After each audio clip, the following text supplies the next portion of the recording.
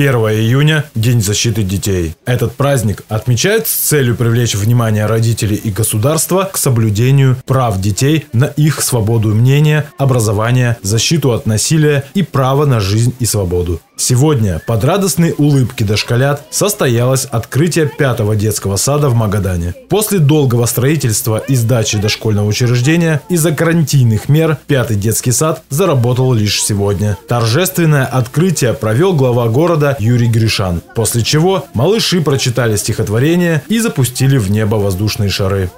Очень рад, что сегодня мы наконец-то заходим сюда уже на постоянной основе в этот прекрасный детский сад. Мы бы хотели, чтобы в Магадане все были такие детские сады. Э, у вас у каждого будет своя отдельная прогулочная площадка.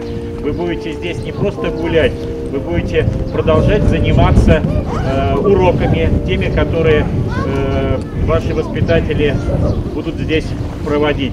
Детский сад номер 5 принимает детей поэтапно, со всеми требованиями медицинской безопасности. Сегодня к воспитателям пришли 44 ребенка. До 7 июня дошкольное учреждение готовится принять около 150 детей и разместить их в 11 группах. Э, далее э, будем принимать э, детей, чьи родители выполняют свои должностные обязанности со всего города. То есть будем работать в режиме дежурных групп. Детские сады в Магадане работают в сокращенном режиме и принимают детей по рассмотрению поданных заявлений от родителей. По словам главы муниципалитета, открытие всех дошкольных учреждений в полную силу этим летом не планируется. Ежегодно дошкольные учреждения в городе в это время приводят в порядок. Те, которые требуют серьезного ремонта, закрывают. До 1 сентября малышей распределят в другие учреждения. Так, летние дни здесь будут проводить воспитанники первого детского сада, которые в будущем объединят с 45-м.